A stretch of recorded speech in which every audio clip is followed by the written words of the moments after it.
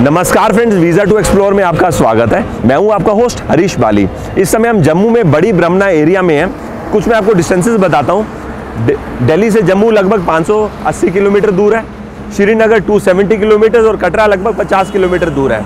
जब आप श्री माता वैष्णो देवी के दर्शन करने आएँगे तो आपको अगर कटरा के लिए डायरेक्ट ट्रेन नहीं मिलती और आप जम्मू उतरते हैं तो यहाँ से आप टैक्सी ले सकते हैं, रेलवे स्टेशन से बाहर आके आपको लगभग बारह सौ में प्राइवेट टैक्सी मिल जाएगी।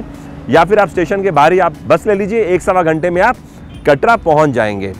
आज के दिन की हमारी जम्मू की शुरुआत हम सामने देख रहे हैं, पहलवान यहाँ से कर रहे हैं, कुछ अंदर चल के खाते हैं और आपकी जानकारी के लिए ये वो नेशनल हाईवे जो दिल्ली दिल्ली जम्मू को कनेक्ट करता है। इसके साथ ही हम यहाँ पर खड़े हैं। चलिए, अंदर चलते हैं।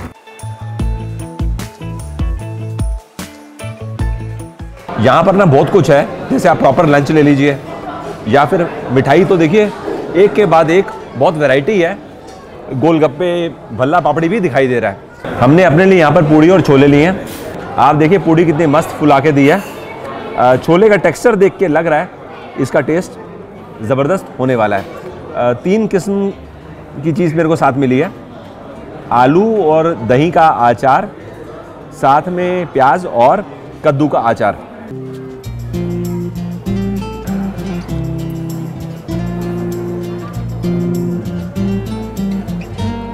वेरी टेस्टी इसको एक्चुअली में भटूरा नहीं बोल सकते, क्योंकि इसमें दही या खमीर नहीं है। लेकिन जो मेन चीज़ है, वो तो मैदा ही है।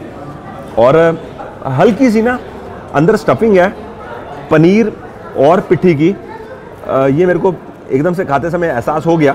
ये देख लीजिए अंदर की स्टफिंग आप। एक और चीज़ मैं आपको बताना चाहता हूँ कि जो हम पूड़ी खा रहे हैं ना, इसको घी में तैयार किया गया है। जम्मू में हमारी आज के दिन की शुरुआत बहुत बढ़िया हुई है। Very good very tasty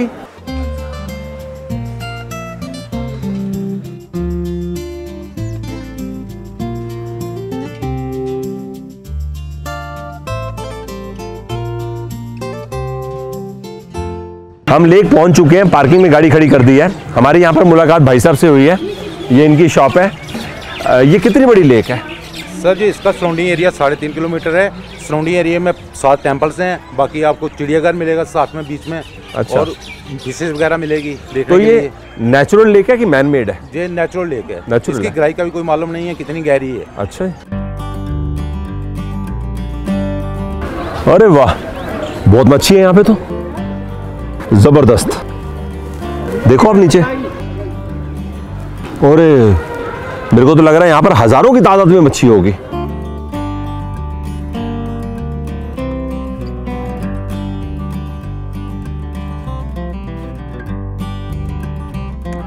lake किनारे चलकर अच्छा लग रहा है। ये जो रास्ता बना हुआ है ना, इस पर हम चलते चलते पूरे लेक का राउंड ले सकते हैं बार बार से। ये टोटल साढ़े तीन किलोमीटर का सरकम है। ऐसा धीरे धीरे चलते रहेंगे तो एक सौ घंटे में पूरा राउंड कर लेंगे। और आज देखो स्कूल के बच्चे भी आए हुए हैं, लोग पूरा पूरा ग्रुप में आए हुए हैं यहाँ पर, पिकनिक मना रहे हैं। हम आधा किलोमीटर पैदल आगे आए, यहाँ पर बोटिंग हो रही है, दो सौ रुपये चार्ज है, चालीस मिनट का, चार लोग पैडल बोट चला सकते हैं।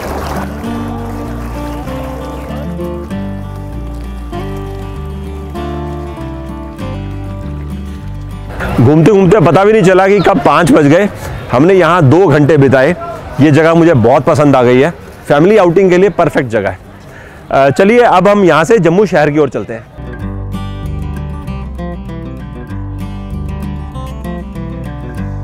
मुझे मनसर लेक की ना अप्रोच रोड बहुत पसंद आई है।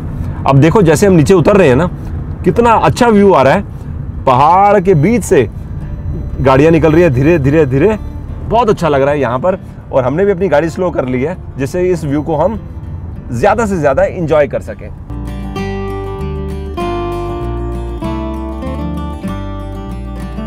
हमने लगभग 30 किलोमीटर का सफ़र तय कर लिया है। इस समय हम नेशनल हाईवे पर ही रुके हैं। इस जगह का नाम है ठंडी खुई। आप देखो कितनी सारी गाड़ियाँ यहाँ पे खड़ी हुई हैं। यहाँ पर सामने शॉप है। वहाँ चल के यहाँ की फ़ेमस बर्फ़ी खाते हैं। भाई साहब ये यहाँ की फ़ेमस बर्फ़ी है? अच्छा। बड़ी दूर से हम बर्फ़ी खाने आए हैं। तो हमारे को आप दो पीस दे दो। आ, कितने के दो पीस? बीस रुपये बीस रुपये ठीक है। ये बर्फ़ी आप किससे बनाते हो? मावे की दूध की होती है मावा। मावा। मावा उसका देसी दूध। देसी दूध। देसी दूध क्या होता हाँ, है? देसी दूध होता है लेकिन अच्छा भैंस के दूध से। वेरी गुड मैंने भाई साहब से समझा ये कुआँ इसमें गर्मियों में बहुत ठंडा पानी निकलता है और सर्दियों में सर्दी में गर्म गर्म।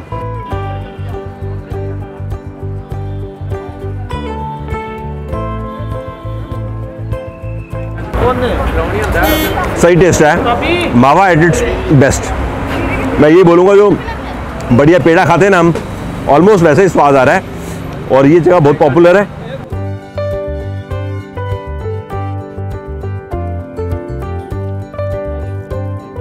अ, सामने शॉप है जिसपे लिखा हुआ है ओल्ड इज़ गोल्ड वहाँ भी बर्फ़ी मिल रही है और यहाँ पर भी लोग पकोड़े बर्फ़ी सब खा रहे हैं इंजॉय कर रहे हैं। चलिए अब हम जम्मू शहर की ओर चलते हैं। इनफैक्ट आज हम अपने होटल जा रहे हैं। आज के दिन की जर्नी हम यहीं पे एंड कर रहे हैं।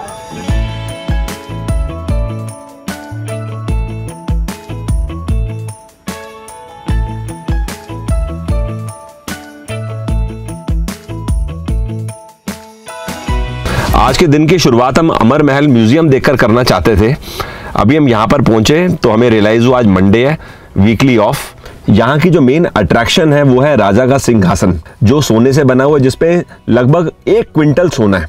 तो काफ़ी टूरिस्ट वो भी देखने आते हैं साथ में यहाँ पर चांदी का पलंग और भी काफ़ी कुछ है म्यूज़ियम में जो हमने मिस कर दिया। म्यूज़ियम के साथ ही हरिनिवास है। इस हेरिटेज प्रॉपर्टी को होटल में कन्वर्ट किया गया है।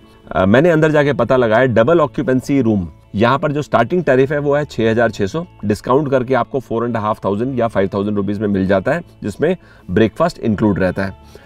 रूम काफ़ी अच्छा है स्पेशियस और रूम के बाहर जो बैल्कनी है, वहाँ से आपको तवी नदी का व्यू काफ़ी अच्छा दिखाई देता है। अच्छा लगा यहाँ पर आके, अब हम चलकर कुछ खाते हैं।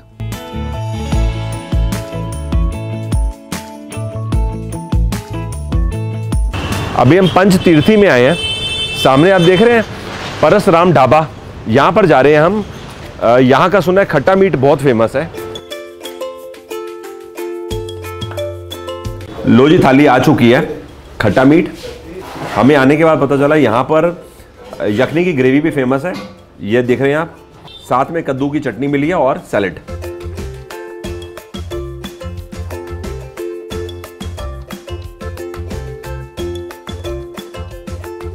टेरिफिक मैं आपको क्या बताऊँ इतना ज़बरदस्त टेस्ट है कि आप सॉफ्टनेस देखो मीट की, कितना आसानी से ऐसे फ्लैश ब्रेक हो गया।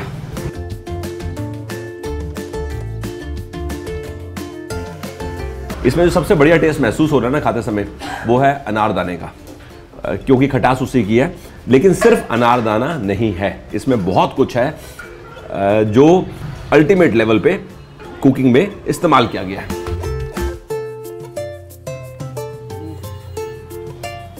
आज जो यहाँ पर मीट का मैं टेस्ट एंजॉय कर रहा हूँ ना, ये वन ऑफ़ द बेस्ट है। बहुत ज़बरदस्त एक लिजेंडरी जगह है ये। और सामने आप देखिए, जो कुकिंग यहाँ पर मीट की की जाती है, वो पीतल के बर्तन में की जाती है।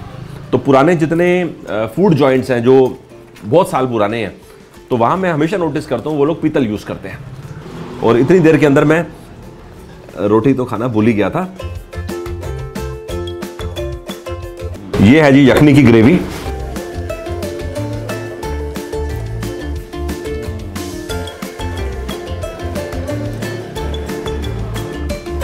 यखनी की ग्रेवी है ना, बहुत ज़बरदस्त। दही में इसको तैयार किया गया है। इसमें धनिया भी है, पुदीना भी है, ऊपर थोड़ा सा बटर भी है, बहुत कुछ है और बहुत डिफरेंट है। कद्दू की चटनी में टेस्ट करना भूल ही गया था। थोड़ी सी मीट की ग्रेवी लगाएँगे और कद्दू की चटनी।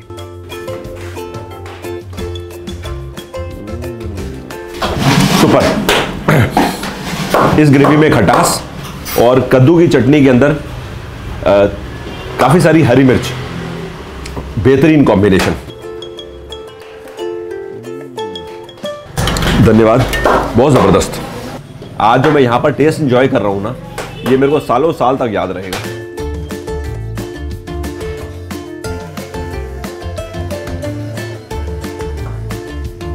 चलो जी इसको फिनिश करते हैं। फिनिश करने के बाद मैं यहाँ ओनर से कुछ जानूँगा। कि कैसे इसको तैयार करते हैं। ये शॉप मेरे ग्रैंडफादर ने स्टार्ट की थी 1940 में। तो ये जो खट्टा मीठा है इसमें जो मेन फ्लेवर है वो कोले की धुनी का आता है जिससे एक स्मोकी सा फ्लेवर आता है आपको अलग सा रोमा आपके आता है। सो so, और मतलब ढाई तीन बजे तक आपको मतलब खट्टा मीट यहाँ पे मिलेगा। उसके बाद ये शाम को सात बजे से हम स्टार्ट करते हैं तब चिकन की आइटम होती है मटन की आइटम बहुत कम होती है उस टाइम पर अभी हम यहाँ से 10 मिनट का सफ़र करके पैदल जा रहे हैं। एक और फ़ेमस ईटरी है जलियांती हट्टी। चौक चबूतरा से 10 मिनट पैदल चलकर हम जलियांती हट्टी आ चुके हैं। भाई साहब अपने पास सुंड मिलेगी? नहीं। नहीं मिलेगी। और आपका क्या फ़ेमस है? फेनिया कतलम में। अच्छा। फेनिया कतलम में बनते हैं। फु- फूका क्या होता है? फुग्गा फुग्गा फुग्गा। फुग्गा नहीं फुग्गा उसको, उसको बोलते हैं तिल की बर्फ़ी। अच्छा तिल हाँ। फुग्गा को तिल की बर्फ़ी बोलते हैं। तिल की बर्फ़ी तिल से ही बनती है मावा और तिल से। वो है अपने पास? हाँ, है। अच्छा। हाँ, तो एक हमें थोड़ा सा वो दे दीजिए और कतलम पे कतलम में तो है। एक वो भी दे दीजिए।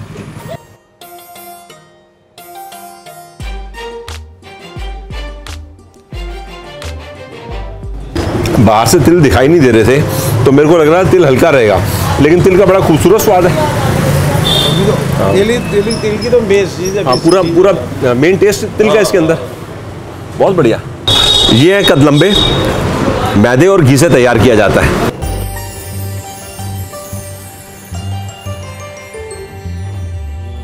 देखने में लगती हल्की है।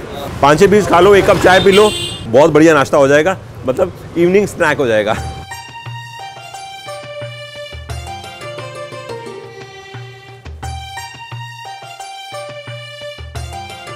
जलियांती हट्टी के सामने हम एक शॉप में आए हैं। यहाँ राजमा देख रहे हैं, दो किस्म के राजमा इन्होंने दिखाए हैं। ये कह रहे हैं जी, ये राजमा जो मैंने अभी हाथ ऊपर किया ना, ये भद्रवा के राजमा है। इसमें मल्टीपल शेड्स हैं। एक यूनिफॉर्म शेड नहीं है हर राजमा में, और ये राजमा जो देखने में सारे एक जैसे ही लग रहे हैं।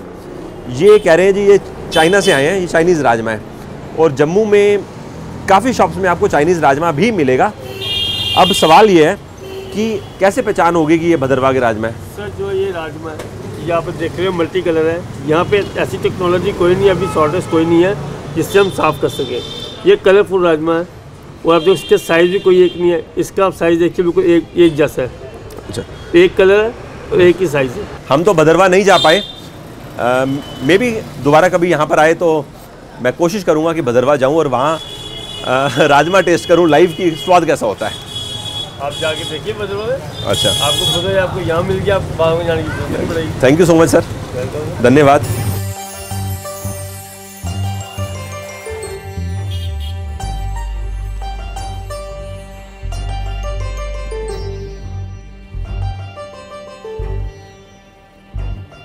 इस समय हम मोती बाज़ार में सब्ज़ी मंडी के बाहर खड़े हैं। हम यहाँ पर आए हैं तरड़ देखने। ये देखिए जी तरड़। हमारी मुलाकात यहाँ पर भाई साहब से हुई है। ये आए आंवला आंवला लेने। तो हमने बोला थोड़ा हमें मंडी में एक दो चीज़ अगर आप दिखा सकते हो तो ये हमें चलकर मंडी में भी दिखाएँगे। भाई साहब ये ज़मीन में कितना नीचे होता है? ढाई से तीन फीट नीचे होता है। अच्छा तो इसको कैसे हम लोग फ्राई करके खाएँगे? हाँ चार भी डल सकता है फ्राई भी खा सकते हैं। अचार भी डल सकता है और फ्राई भी हो सकता है। वेरी गुड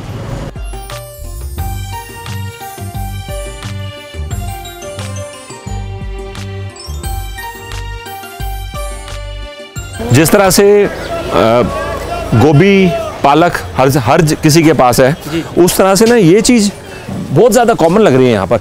हम इसको गंट गोभी बोलते हैं। तो यहाँ पे हमारे बोलते हैं कड़म। कड़म बोलते हैं कड़म। कड़म। कड़म बोलते हैं यहाँ पे। अच्छा। बहुत बहुत ज़्यादा लोग खाते हैं इसको? जम्मू कश्मीर के लोग सुबह भी शाम को ये चावल के साथ खाते हैं बड़ा प्रेफरेंस देते हैं। फ़र्स्ट प्रायोरिटी इसको देते हैं सब्ज़ी को। अच्छा। यहाँ के लोकल है कश्मीर से आता है ये।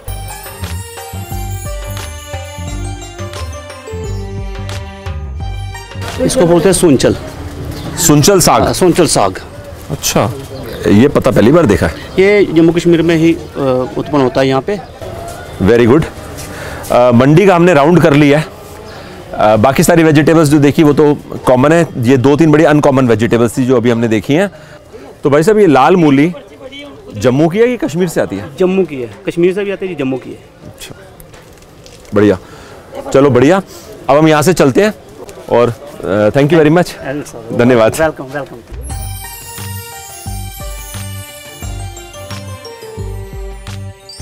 मोती बाज़ार में हम पैदल चल रहे थे तो यहाँ पर हमने भाई साहब देखा बर्तन कली कर रहे हैं।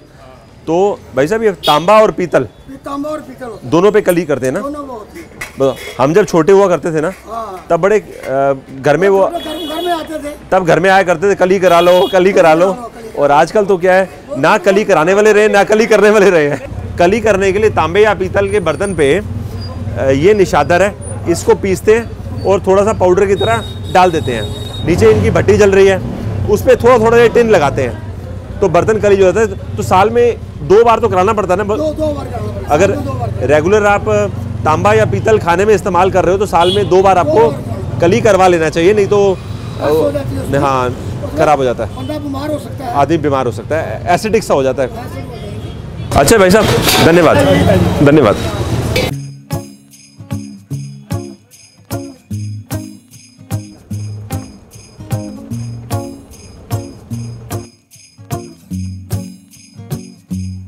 अभी हम पटेल बाज़ार में फतू जोगन में एक शॉप में आए यहाँ पर बंटा भी मिल रहा है आ, लेमन सोडा और साथ में इनके पास कलाड़ी कुलचा भी है। तो भाई साहब हमारे को एक चाहिए कलाड़ी कुलचा। वो खाने के बाद हम आपसे ये लेंगे कोई बात नहीं। बंटे वाली बोतल। हमने ना चार पाँच दिन पहले जब सिमरोली गए थे ना वहाँ पे कलाड़ी खाया था वहाँ हमें मिली थी ब्रेड के साथ। और यहाँ हमें मिल रहा है बन के साथ इसको यहाँ पे कुलचा बोलते हैं। ये अनारदाने की चटनी और साथ में मीठी चटनी। अच्छा कलारी को वैसे थोड़ा नज़दीक से देखेंगे। ये ऐसे खिंचता है। चीज़ की तरह।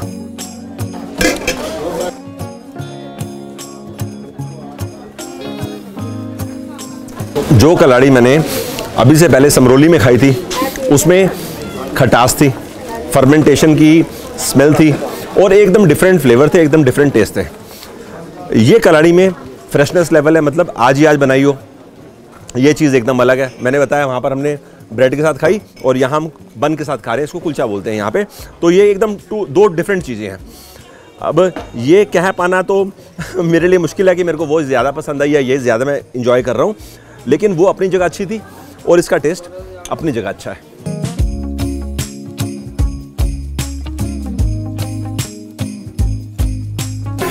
भाई साहब एक हमें ये बंटे वाली बोतल भी दे दीजिए। एक ग्लास। सोडा लेमन और ऊपर थोड़ा अलग से नींबू डालकर। हमारा ये एपिसोड यहीं पे समाप्त हो रहा है। आपको बाय बाय करने का समय आ चुका है। जल्दी आपसे दोबारा मुलाकात होगी। तब तक के लिए bye bye thanks for your time